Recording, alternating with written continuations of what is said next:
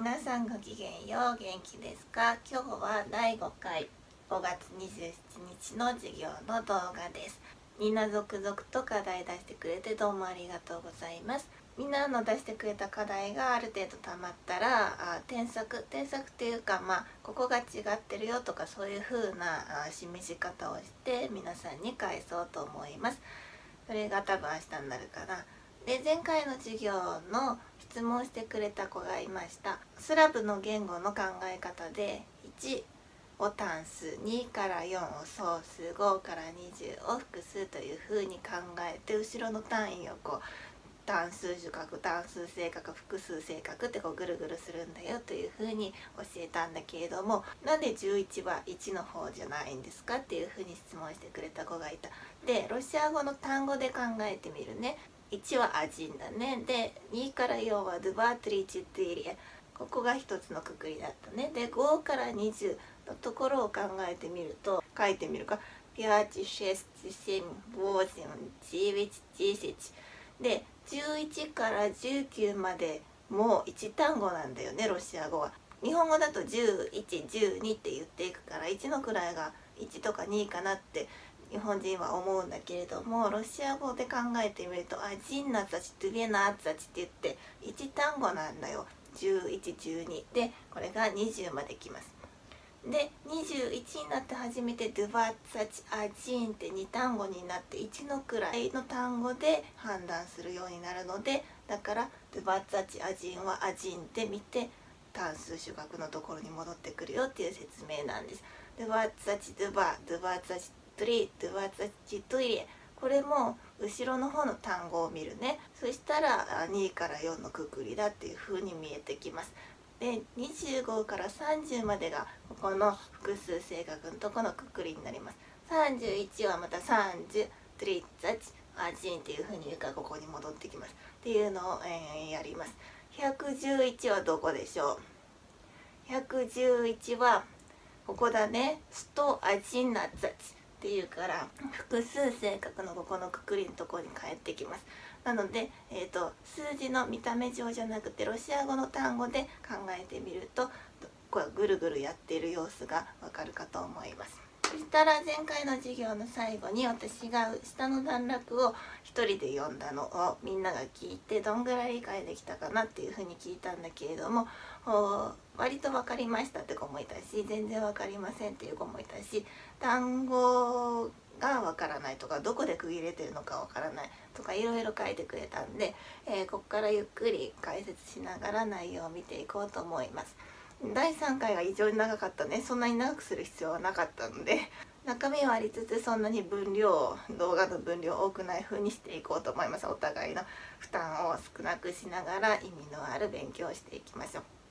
そしたら後半の文章の一番最初です。じゃあ今日やるところね、えー、読みますね「プチェラ・イヴァン・ブル・ウナス・ブガスチャフ」って書いてあるね。短い文章です。プチェラは簡単だね。昨日ですね。今日はシボーニャ明日はザフトラおとといとあさって習いました。ここに並べてみようか。おとといバザフチェラというふうに言います。昨日はフチェラ今日はシボーニャ明日はザーフトラ。明後日はポスリザーフトラっていうふうに言います。もう一回ね。パザフチラフチラシボーニャザーフトラポスリザーフトラっていうふうに日にちが流れていきます。覚えておきましょう。それでえっ、ー、とイヴァン友達のイヴァンさんの話をしていたね。イヴァンさん。でブルウナスブガスチャフって書いたね。ブルは元の形は V1 です。でこれはいるという意味です。B 動詞。ロシア語は B 動詞はと現在時制の時は使わなくて過去と未来の話をする時に現れてきて必要な形にして文章の中に登場させます。じゃあ V1 の変化やってみるね。まず過去形です。4個で男の時女の時中性複数の時。男の過去ブー。女の過去ブラ。ーあが伸びます。中性の過去ブイラ。ー複数の過去ブイリこういう風になるね。4個です。で、えーと、未来形もやってみるね。これは未来の表現をする時に習ったと思うけれども「いるでしょう」っていう意味でも使うものです。いくね「や」の時「ブードゥ」トゥイの時ブージス。オンの時ブージェット。ムイの時ブージム。ブイの時ブージジ。アニーの時ブールこれは B 動詞の未来の形いるでしょうとかそういう時に使うものです。先に言ってしまうとここでね熟語みたいなものがあってブイチブガスチャフこれでお客にいるっていう意味があります。で今の文だと「ブー」って書いてあるから「お客にいました」って訳するのがちょうどいいね。過去形です。次「うなす」って書いてあるね「なす」は何の何格でしょうか「う」は何々のところにっていう意味の前置詞ですで前回の授業でもお話ししたように前置詞は隠し配後ろのと名詞あるいは名詞句を何格になってねって指定してくるものなので、えーと、隠し配を起こしてきます。うは後ろ正角一択です。でブーは対角かもしれないし電池角かもしれないとかすは正角かもしれないし、えーと、増角かもしれない。意味がそれぞれによって違うよみたいに、えーと、何択かあったものがあったけれども「う」は一択で後ろ正角です。もうこれは最初の頃にきっと習ったと思います。なのでこれ「なし」っていうのは何かの正角なのね。でこれは「無意の正角です。で認証代名詞「えーと、や」とか「や」「みにゃ」「むにえ」とか変化するのをみんなやったと思うけど「無意」も変化します。もう一度ここに復習で出すね。主角は無意性格はナース余角はナーム体格はナース。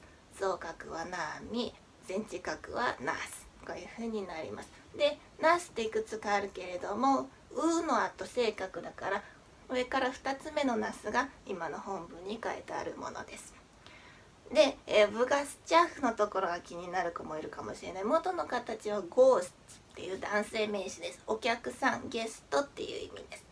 でこれの複数の電池角の形がガスチャフっていう形です。で今の文章終わった。ねさっぱりしすぎかな説明どうだろう。また説明ちょっと足りないよとかもしあったらコメントのところに書いといてください。そしたらね今日の2文メイクね読めます。マヤ・ジェナ・プリガトービラ・ムノーガ・ブリュートって書いてあるね。マヤ・ジェナのところはもう説明は必要ないと思います。で課題の中でやっぱりまだ「ムイマヤマヨマイ」の使い分けが怪しい子がいました。例えばパドゥルーガなのにもう一パドゥルーガって書いちゃってる子とかいて自分で間違いに気づいて直してまた出してくれたらいいかなっていうふうに思ってたんだけれどもうんとなかなか自分でできてるつもりだと思うから間違いになかなか気づかないのかもしれないので明日の授業ではあと私が添削をしてでそれで間違いにとりあえず気づいてもらうっていうことをしようと思います。それを直して出してもらうっていうのを明日の課題にしようかなというふうに思っています。あそうねでマイヤージュナーの話は終わった次ねプリガトビラって書いてあるね。これは何市ですか？何市のどんな格好ですか？大体わかるようになってきたかな。これは動詞の女性の過去がっていうところを見てわかるね。動詞の女性の過去です。じゃあ元の形は何ですかっていうふうに順番にね辿って考えていくのよ。元の形はじゃあプリガトービチですっていうふうにわかるね。そしたらもう辞書で弾けるようになるわけ。でプリガトービチって調べても辞書では出てこない場合もありますなんでかというとこれは完了体だからです辞書によっては不完了体の形で調べてほしい辞書もあるのでそしたらプリガトービチを見るとねガトービチを見ましょうって書いてくれてあることがあったりするからそっちを見るね。で例えば辞書一緒に見てみようね。あの電子辞書を持ってるっていう子もいたし紙の辞書を持ってるっていう子もいたし辞書持ってませんっていう子もいたけどとりあえず私の持っている白勇者っていうところの入門から中級ぐらい向けの辞書を今写しています。でプリガトービチを例えばね調べたとするね「カン」って書いてあって意味書いてくれなくてガトービチを見ましょうっていうふうに書いてある。こういうふうに、えーと、あっちこっち飛ばされることが多いんだ。でまあガトービチを見ることにしよう。はいガトービチを開きました。で最初にガトービチって書いてあって不感点。さっき飛ばされてきた元のプリガトービチが今ここに書いてあってうーんって言ってカンって書いてあるね。でガトービチは何後ろを体格持ってきてほしい動詞だよっていうふうにここに書いてあります。次意味書いたらね丸1準備する用意する整える。丸2食事の準備支度をする調理する。丸3要請する必要な準備をしてやる。丸4準備しておく蓄える。丸5何何しようとするあるとか始め計画準備するっていう意味が書いてあります。で最初のうちは後ろどういう話が来るか多分すぐにはわからないっていう場合もあるのであのまあここページ開いたまんま次先読み進めてあどの意味で取っていったらあの話が通じるかなっていう風にするのが勉強としていいと思います。でその後無能がブリューって書いてあるね無能がはたくさんっていう意味です。でその次の単語ねブリュートって書いてあるけど元の形はブリューだ「お」で終わってる中性名詞です。今最後の「お」がなくなっちゃってるのこれはどういうことになっているかというと1個前の無能ががそうさせてるんだ。ね、もう一回言うけれども前回の授業で1の数字の後は単数主格が来るよ2から4の数字の後は単数性格が来るよ5から20の後は複数性格が来るよ21は単数主格に戻るよっていうふうに説明したんだけれどもこれは具体的な数字で、えーと、表している場合だね。無能がとか二無能がとかまあ少ないねとかあといくつかのとかニエスカリカとか多分やったと思うあとスコリカとかね言葉で数量を表現する単語ってあるじゃないたくさんの少しのいくらかの、まあ、少々のとかそこら辺の。でこれもこのくくりの中で同じくくりの中で考えます。たくさんであろうと少しであろうといくらかであろうと数字じゃなくて言葉でこの単語で数量を表現した場合はいつも5から20と同じくくりの中で考えます。なので後ろは複数性がきます。少しのって言っても言葉で数量を表現しているっていうもうその状態からして5から20のくくりに入るの。なので後ろはもう一度ね複数性格がきます。無能がの後今のブリューっては複数性格の形になっています。で中性名詞のブリューだって「お」で終わってる単語だったね。で複数性格の変化の形は名詞の性別によってあるいはあと不規則な場合もいろいろあって、えー、一概には例えば覚え方この前男性名詞の教えたけれどもああいうふうなワンパターンの覚え方っていうのはちょっと難しいんだけれどもまた場合分けして覚えていく必要があるんだけれども中性名詞の場合は一番最後の母音を取っちゃうっていう方法で複数性格を作ることができます。なので今「ドゥ」で終わってるのね。意味言ってなかったね「ブリューダ」っていうのはお皿。もともとはそのお皿っていう意味です。でそこからご飯お料理っていう意味になってきます。英語のディッシュと同じ。単語だと思ってくれるとちょうどいいと思います。でさっきのプリガトービラの単語のこれ保留にしてたね。でプリガトービチが完了体だから不完了体のガトービチをさっき調べてで準備する整えるとかお料理をするとか要請するとか蓄えるとかいろいろ書いてあったけれども、まあ、イヴァンがお客さんに来て奥さんがやったことって考えるとたくさんのお料理を料理しました調理しました作りましたそこら辺の意味で取ると、まあ、しっくりくると思います。はい、で次ね「ムイピーリイエリイムノガラズカバリバリ」って書いてあるね。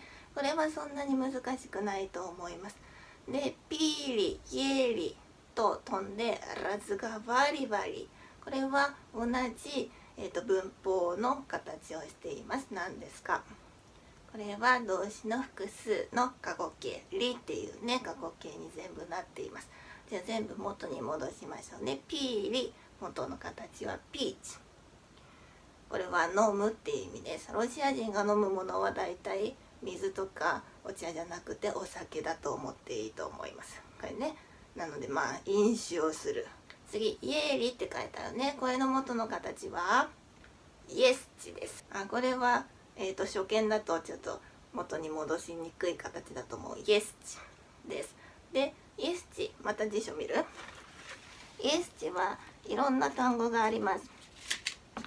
海にゃイエスってみんな習ったでしょ？それのイエスチともまた違うの。イエステはこの辞書だとねイエステ1からイエステ4まであるの。はいイエステ1ねこれ食う食べる。腐食する叱りつける罵るって書いてあるね。次ねイエステに薬煙などがしみる刺激するって書いてあるね。イエステさんこれがみんなが知っているイエステだね。あるものが存在するか否かに関心のある時に用いる海にゃイエスチとかウバスイエスチとかそういう時にみんなが練習したやつねこれね。イエスチの4もあるの。これは軍隊で上司に何か言われてイエスサーみたいな感じでイエスチって言って敬礼する時に使う単語。これは今違うだろうね。この目にしみるもきっと違うだろうね。奥さんは上手にご飯を作ったはずだね。だからまあ意味としてはあるいるで習ったやつは動詞っていうか述語なんだ。こっちの食う食べるの方で今書いてあるの。このイエス値はね変化がね特殊だからまあまた壁に書いて説明するね。で動詞のイエス値の現在実践が特殊な形をさっきしてるのを写したんだけれどももう一回ここに大きく書くね。元の形イエスチやの時イエム。トゥイの時イエスオンの時イエスムイの時イエチーム。ブイの時イエチーチェ。アニーの時イエジャート。これはどうしてもこういう風な形不規則な形なんだ。自分で考えようと思ってもできないと思う。で過去形ね過去形は、えーと、男女中服だから 4, 4個だね。男の時イエル女の時イエラ中性の時イエラ複数の時イエリこういう風になります。最後ね無能が無能がはもうほっといてわかるね。無能がラズガバリワリこれは、えーと、元の形はラズガバリワツです。でこれは習ったかな、まあ、この単語として知ってる子はもういいと思うけどももし分解してまた考えるとしたら後ろにちょっと綴りはちょっと一部変わってるけどガバリ値的なのが入ってるね。で前にラスっていう接頭字がついてます。今まで接頭字プリとウっていうのを教えたと思うけどラズっていうのもあります。ラズは様々にいろいろにっていう風な接頭字です。いやこれどういう風にできてるかというといろいろに話す。書いてあるのでこれでおしゃべりをするっていう意味の動詞になります。なので我々は飲み食いそしてたくさんおしゃべりをしたっていうふうに書いてある文章が今のところでした。では今日3分やったから5までにします。そんなにすごく難しい構造はなかったかな。前回のポースリエ・アカンチアニア・インスティトゥータっていうところはこれは是非分析してもらいたかったのでああいう課題を出しました。ちょっと目先を変えるような課題を出してみたんだこの前はどうだったかな。そしたらまた今日の文に関してもそんなにあの重くはない課題を作ってまたアップロードしておくので課題解いてまた見せてください。そしたら今日の授業はこれでおしまいにします。よく復習をしておいてください。それではごきげんよう。皆さんごきげんよう元気ですか？今日は6月3日7回目の授業の動画です。全部で20回の授業なのでもう3分の1のところまで来ました。前回はあ私がみんなの今まで出してくれた分の課題をチェックして、えー、それを返して、えー、みんなが直してくれるっていうのが課題だったんだけれどもさらにその前第5回の授業の課題も出してくれたこの文はもう見ました。それで間違いが多かったところはあイエス値まあ、四角2のイエス値の意味と変化を書きましょう。これは別に動画を見れば中に書いてあったんだけれども頭を使うべきところがあ四角1のカッコ2とカッコ3だったんだよね。四角1のカッコ2は私とアントンはっていうふうにここの部分があ悩んだ子が多かったのかもしれない。この本文をやってた時に3行目のとこにえーと、私と彼はっていう言い方が出てきたのね。そこを応用してほしいと思ったんだ。えっ、ー、と「す」の後は増角が来るね。なので私とアントンはっていうことはアントンを何角にすればいいかっていうのを考えてほしかったの。それから過去3番「おとといアントンの妻は5つの料理を作りました」って書いてあってて、えー、ここでまたみんなが考えたんだろうなっていうところアントンの妻はっていうところだね。で、えーと、英語の「オブ」と一緒の考え方です。何角を使うのか語順はどういうふうにしたらいいのかこれをもう一回考えてみてください。それで私が日本語の問題文を書いてる時に「あさって」とか「点」って書いてあって「おととい」「点」って点を入れちゃったのにつられてで「あさって」とか「おととい」っていうロシア語単語の後にカンマを書いてくれた子がいたんだけれどもロシア語はこういう場合カンマを入れないんだ「あさって」とか「昨日」とか「あおととい」とかいう時にとか、えっと、副詞の後にあんまし点を書かないのでこれは点なしでよかったです。あの私の日本語につられて点を入れるのかなって思って書いてくれた子もいたんだと思うんだけど点はいらなかったです。で、えーと、質問がありました。で質問というかあの実習用にロシア語の参考書でみんなぐらいのレベルのものあったら教えてくださいって書いてる子がいてなかなかそのかゆいとこに手が届くとかちょうどみんなのレベルでも理解できてさらにもう少しっていうのがなかなかロシア語ないかもしれないんだけれども何年か前の学年の子たちが東京外国語大学の教科書大学のロシア語みたいな名前のをあのみんなで流行っててみんなで持ってる代の子たちがいてそれはね多分、あの分かりやすいと思う。教科書なんだけれども、まあ、練習問題もありつつ的確に説明が書いてあったりとか例えばみんながまだここが固まってないなっていうところを探して開いてそこを確認できるっていう風になると思うんでまあそういうの持ってるとあの自分で勉強しようかなっていう時に助けになるかもと思います。もし他の子で何か参考書持ってて自分でやってるよっていう子がいたらコメントのとこに書いといてください。この先の授業の中でこういうの使ってるみたいだよっていう風にシェアし合えたらなというふうに思います。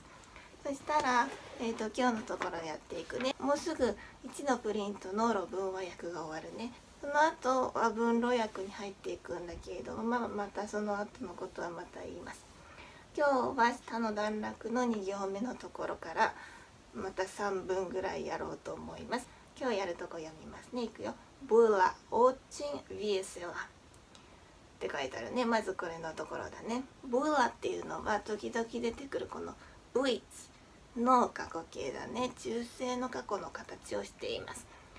でなぜ中性かっていうのは置いといて次のところ行くね。オーチンオーチンはとてもっていう意味ですね。次リエセラリエセラはあなんか過去形の話ばっかりしてたから「ロ」っていうのを中性過去かなと思っちゃうかもしれないけどもこれはもともとの形が「リエセラ」っていう副詞で愉快に陽気にとかそういう意味です。で、えっ、ー、と「ブラ」なぜ中性の過去になってるかっていう話をちょっとします。オーチンこれは副詞ですねとてもっていう意味。リエセラこれも副詞ですね。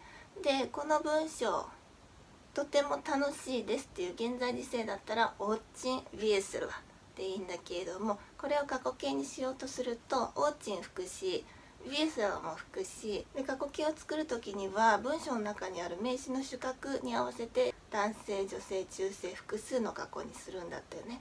でこの文章オーチン・ビエスラの中にまずそもそも名詞が入っていない。っていう場合そういう場合はあ中立的なもの「あの」ってあったね「それ」っていうの。それを主語だと想定して、えー、変化させます。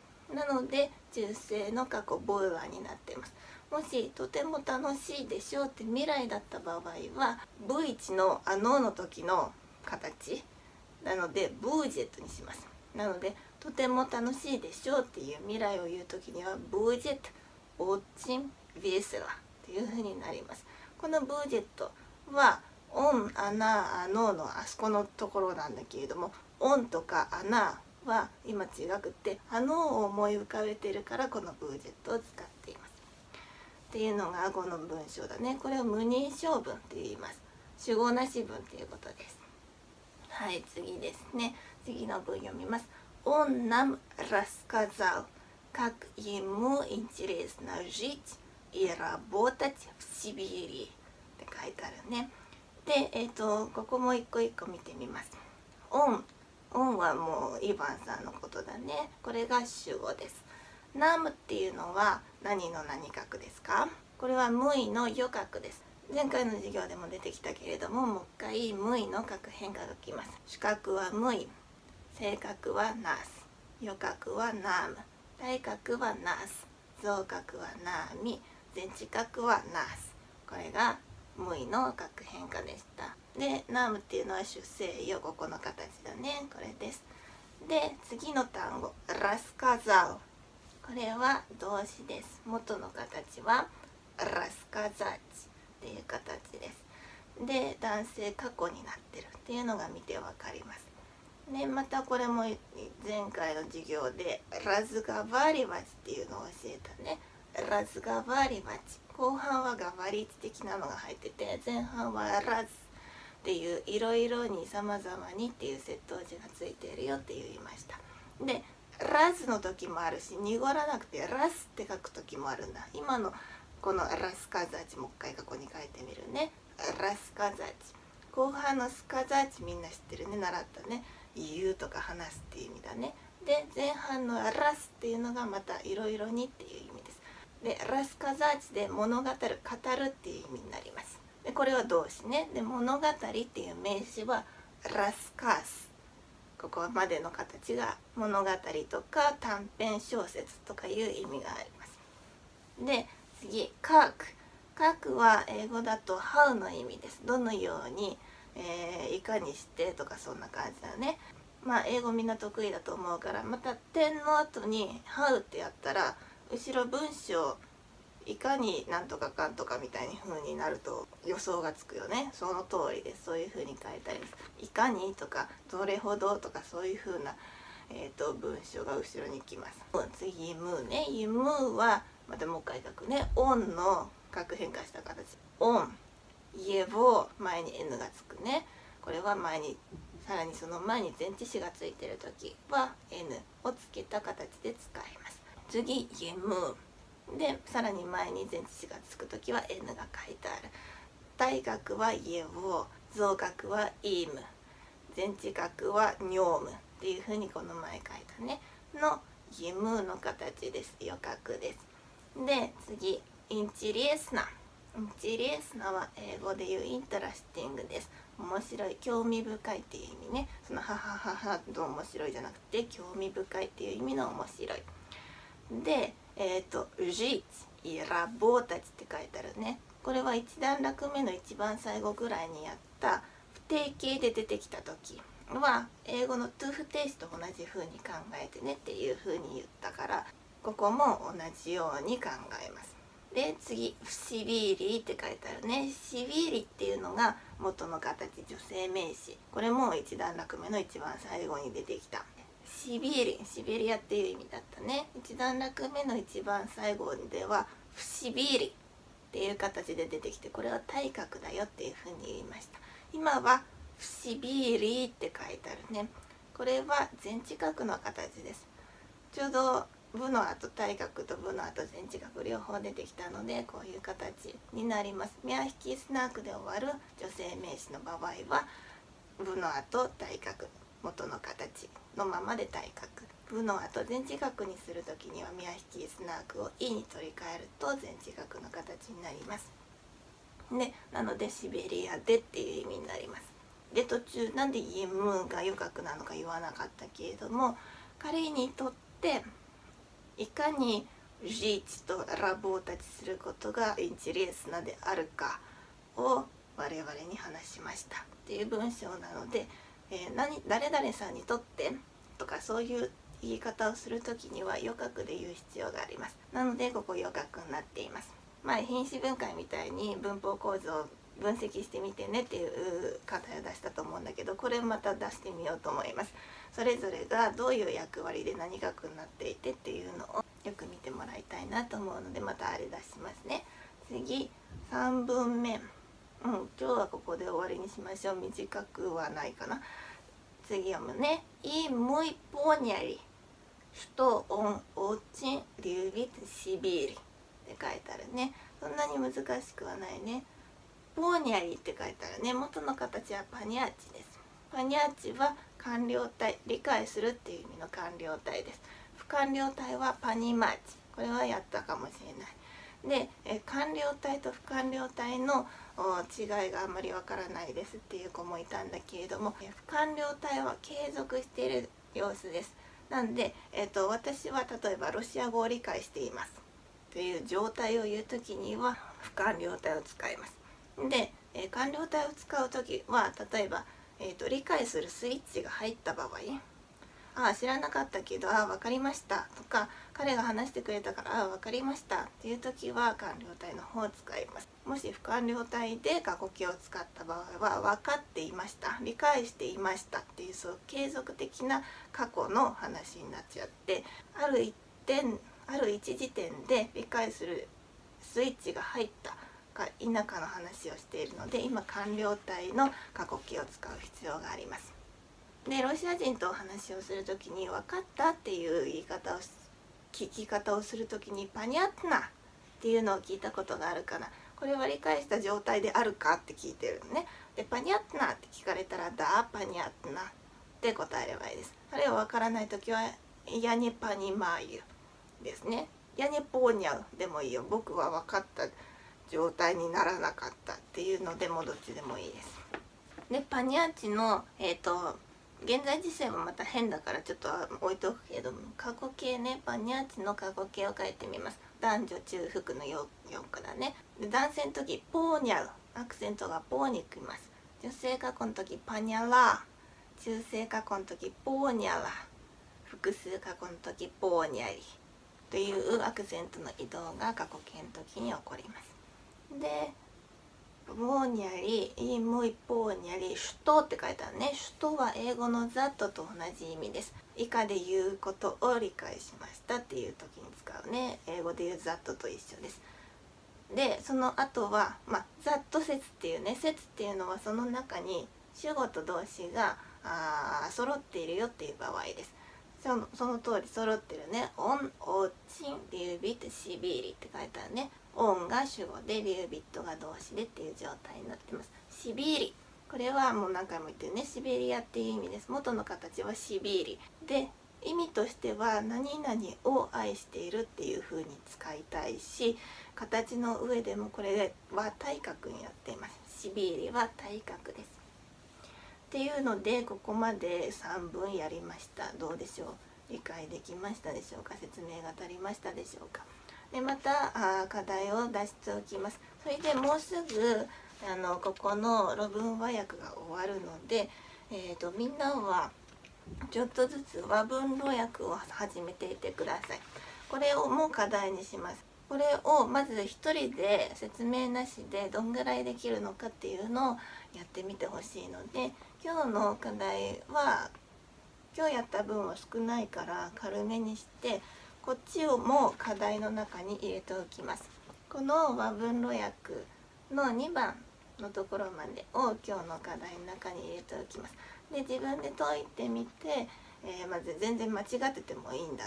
あ自分の力がこういう本当の翻訳をする時にどんぐらいあの歯が立つのか立たないのかっていうのを腕試ししてもらいたいので間違っててもいいのでとりあえず解いて出してみてください。でこの授業に入るまでに間に合わなかった子はまあしょうがないけれども私の解説を聞いてどういうふうに考えればよかったのかっていうのをもう一回考えながら聞いてもらいたいと思うのでまず一回ここを解いてみるっていうのを課題にしておこうと思います。はい、それでは今日の授業は以上です。よく復習をしておいてください。それではごきげんよう。皆さんごきげんよう元気ですか？今日は6月4日第8回目の授業の動画です。もしかしたらそろそろあ1学期中にはみんなに1回はもしかしたら会えるかもしれないのでまだわからないけれどもその時を楽しみにしています。そしたら今日のところをやりましょう。論文和訳もあと2分でおしまいです。これを終わらせて次の和文路訳に入っていきますね。そしたら今日のところ読みます。いきますね「ザフトラオンウィルシャイエット」っていうふうに書いてあります。ザフトラも教えたね。おとといと昨日と今日と明日と明後日。も全部教えたね。覚えてくれましたか？でえっ、とロシア語ができるようになるっていうのは理解するっていうのがまず第一でその後にみんなが自分の作業として覚えるっていうのが必要です。で自然に覚えるっていうことはなかなか難しいね。一生懸命書いたり聞いたり、えーと、覚えようとして覚える必要があるので、まあ、覚えるっていう作業はみんなそれぞれやってくださいね。で次「ウエジャイエットって書いてあるね。下にもう書いてあって「ウイエハチ」と「ウイエジャーチ」って書いてあって最初の頃にウイエハチはもう出てきたのね。ウイエハチの方が完了体。でウイエジャーチっていうの方が不完了体だよっていうふうに教えました。意味はもう書いてある「猿」っていう意味ね。で「う」っていう接頭詞があ退くとか去るとかそういうイメージを持たせるんだよっていう話を申しました。なので、えーと「明日彼は去ります」っていうふうに書いてあります。あここはそんなに意味としては難しくないかもしれないでいろいろ考え始めるとちょっとややこしいかもしれないんだけれども一回ここ置いといて次も似たような構造が出てくるので次も一緒に見ます。いくね次の文。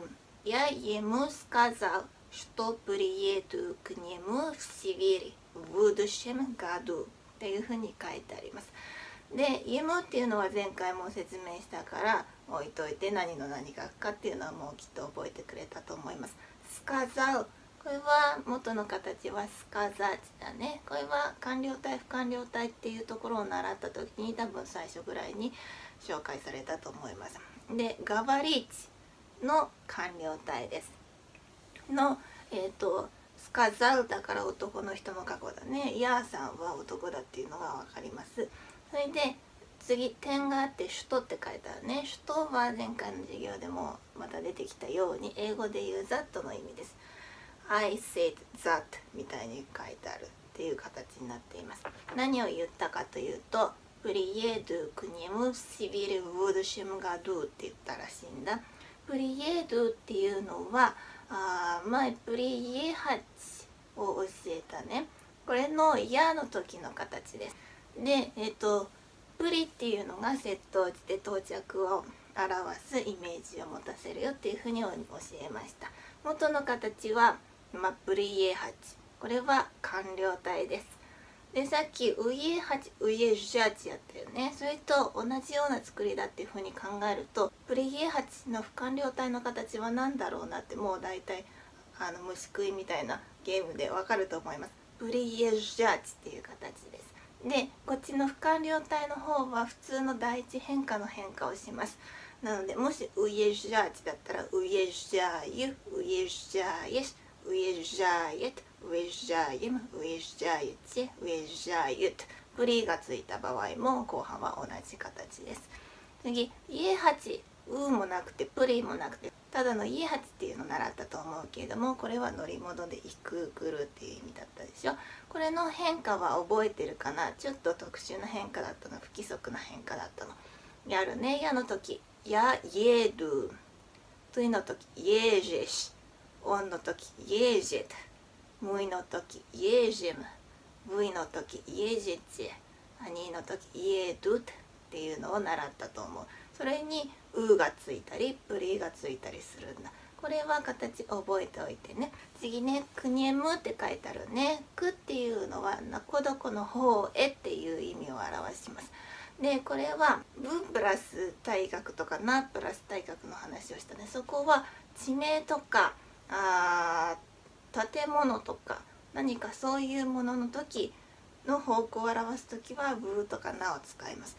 くっていうのは範囲をもうちょっと狭めて人のところに行く時おばあちゃんのところ行きますとかお医者さんのところに行きますとかお友達のところに行きますっていう時に割と使う方です。ブーとかなはもう一回言うけれども地名モスクワ A とか学校 A とか南 A とかそういうえーと、地名とか、えーと、施設名とか方角などを表す時は「ブー」とかな。で人の方に向かって行く時の話をしている時は「く」っていうのを言います。これ何々の方に。で「く」の後は余角が来ます。一択です。で、えーと、私が大学の時に習った覚え方それぞれの、えーと前置詞の後ろに何角が来るか隠し牌の覚え方ねくよくようるせえおっとせっていう覚え方をね教わったら3つしか覚えられないんだけど「く」の後は余格です「う」の後は性格です「おっと」っていうのはまだやってないかもしれないけどどこどこからえそれはね心からのありがとうとか私からのプレゼントですとかあとは、うんとまあ、場所からもどっからどこまでとかそういう場合も指すけれども「から」っていう意味ね。で「おっと」の後も性格で本文文章の中では「おっと」って言わないで「あっと」って読むことの方が圧倒的に多いです。で3つこれで覚えられるね。覚えてね。なので「く」の後は余格です。何の余格かもう見てわかるね「くにむ」って書いてあるね。前置詞があって後ろに認証代名詞「オン」の余格が書いてあります。で時々ここに書いてカッコして前に N がついたりつかなかったりっていう話をしたんだけれども今ついています。なんでかというと前置詞「く」が書いてあるから「くいえむ」って言いにくいから N が書いてあって「くにえむ」っていうふうに、えー、すんなり読めるようになっています。次「不思議入り」って書いてあるね。これは何角でしょうか？部の後対角が来るかもしれないし全近くが来るかもしれないっていう話をしたね。で前回の授業までに両方の形が出てきました。これでもう何角かどっちかわかると思います。で次「ブードシェム」が「ドゥ」って書いてあるね。でえっ、ー、とここで教えておきたいのは「部の後は今全近くになってるんだ。で元の形は「ブードシゴート」っていう形です。これで来年っていう意味です。なのでこれ来年にっていう、えーと、形で出てきてるんだけれども前半の「ブードゥシー」っていうのが将来のとか未来のっていう意味の形容詞です。形容詞の書く変化はまだちゃんとやってないけれどもとりあえず「ブードゥシー」の変化ここに書いてみるね。ブードシーブードシェバブードシェムもし後ろに来る名詞が不活動体だったらブードゥシー後ろに来る名詞が活動体だったらば性格と同じブードシェバ。増角はブードシム全知角はブードシムでここの今ブードシェムが書いてあるね。で次ガドゥって書いてあるね。で普通も全知角は覚えやすいはずだったよね。マスクワだったらマスクビエ。だし女性名詞はね。男性名詞ピチルブルクだったらピチルブルゲって大体全部一番最後の文字が「家」になるのが全近くの特徴だったけれどもこれは「ガドゥ」っていう風に「う」になってるパターンです。これは、えー、文法的に名前が付いて第二全知覚って言います。家じゃなくて「運で全知覚の形できましたっていうものです。で、えっ、ー、と第二全知覚になる名詞いくつか挙げてみるね。例えばまあいくつかだけね。例えばポールト港って意味ね。そのまんまね。港でだったらパルトゥになります。次ね。アエラポールト。これは空港だね。空港でだったらブアエラパルトゥっていう風になります。でえっ、ー、とあとねモースト。モーストは橋っていう意味です。橋でっていう時にはねえっ、ー、とオンザブリッジだからなを言います。ナマストゥ全知覚の時に「う」になる第二全知覚のものは全部「う」にアクセントがきます。こういうものもあります。ねんっていう意味も第二全知覚で「ブガドゥ」っていう風になって間に形容詞とかなんかいろいろ入る時も「ブーなんとかなんとかガドゥ」っていう風になります。それぐらいかなここで説明すべきことはちゃんと説明したかな。でまた課題をこれに対応するものを作っておきます。でさらに、えー、と前回からは和文路訳の方を翻訳してあの予習しておいてねっていう課題も入れてあるのでそれもやっておいてください。はいそれでは今日の授業はこれでおしまいにします。よく復習をしておいてください。それではごきげんよう。